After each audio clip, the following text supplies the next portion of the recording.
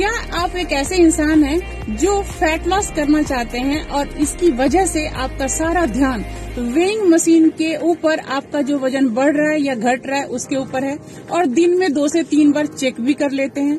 तो मैं भावना सिन्हा आज आपको बताने जा रही हूँ कि इस आदत को अभी से अभी के अभी छोड़ दीजिए। क्योंकि ये आपको अननेसेसरली आपका स्ट्रेस लेवल बढ़ाता है और स्ट्रेस कभी भी वज़न को कम करने में हेल्प नहीं करेगी।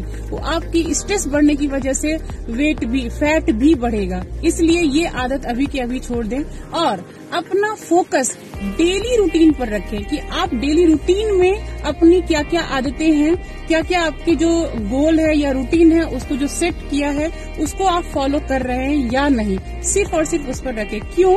क्योंकि थ्री इडियट में रैंचो बाबा ने कहा था, काबिल बनो, कामयाबी झक मार के पीछे आएगी।